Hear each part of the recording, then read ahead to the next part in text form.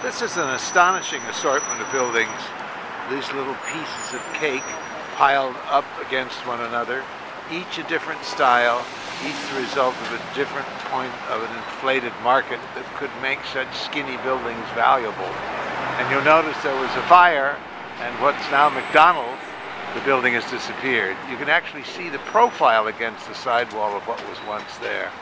But all of these except one maintain their original facade, and it's quite astonishing assortment uh, of opinions about how to make a building.